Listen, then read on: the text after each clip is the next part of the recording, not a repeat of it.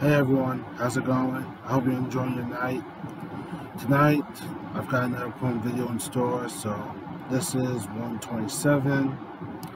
And this poem is based on an old fellow that I remember from during the original days of TNA wrestling. He had a sick finisher that was so sick that a lot of people praised it very much. And this was the first time that a front flip and a pile driver was formed together. Yeah, who says you couldn't form those two together and it became a sick finisher that no one will ever forget. So yeah, today's um, poem, for tonight's poem video, 127 is brought is here to present a new poem that is based on a finisher that was owned by original TNA fellow, Maple Leaf Muscle himself, Petey Williams. And I hope you guys enjoy this poem as I read it to you all. This poem is based on the name of his finisher that it was so sick that a lot of people praised it. Like I said, praised it all the time. Even I loved it because it was a finisher that was formed into a into a finisher with a pile driver and a front flip together. So allow me to read you this poem. The name of this poem that's based on TNA original photos P. Williams finisher is called Canadian Destroyer, which is the name of his finisher called the Canadian Destroyer. So let me reach this poem. Canadian Destroyer. Petey Williams is Canada's exceeding guard. When it comes to the ring, working hard. He has a sick finisher that comes to rise. The best one to always advise. The Canadian Destroyer is a move you have never seen. I remember I remember it so much as a teen. A front flip pile driver that sends you to the ground while the crowd makes an a roaring sound. P. Williams has the best finisher no one can hate. A sick one that was ever to create.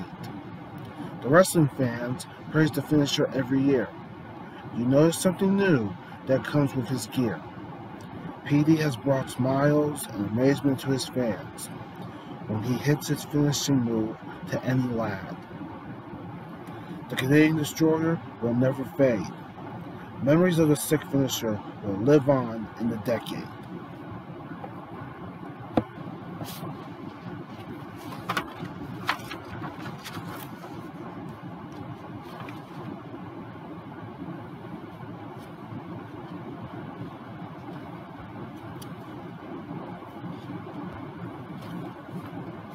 Hold on a sec. Alright, my friends, I'm going to show you the picture of original TNA fellow from back in the good old days of TNA wrestling. I give to you no other than Maple Leaf Muscle himself, the, the owner of the Canadian Destroyer, Mr. Petey Williams. Yep, this was him back in the old days of TNA wrestling, when TNA was being built from the ground up. You can see underneath, I put his two nicknames, Mr. Maple Leaf Muscle and the Canadian Destroyer. Yeah, the Canadian Destroyer was not only the name of his finisher, but it was also his nickname because he was part of Team Canada, a tag team stable back in the old days of TNA wrestling. A Maple Leaf Muscle was his second nickname as he moved on to winning titles his, during his time in TNA wrestling. He's held the X Division title before a few times. So yeah, this yeah, he's and then held numerous titles in his career. So this is Maple Leaf Muscle and the owner of the Canadian Destroyer, also known as the Canadian Destroyer, Mr. Petey Williams.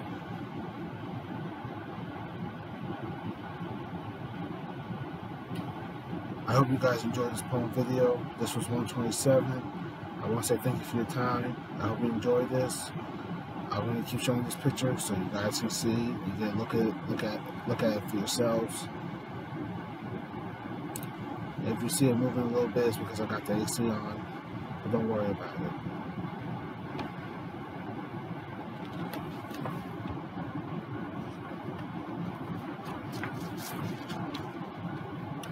So there you have it, my friends. That was the poem. Based, that was the poem called "The Canadian Destroyer," based on TNA original fellow P. Williams' finisher from back in the old days of TNA wrestling. I hope you enjoyed this. This was a very good poem to write.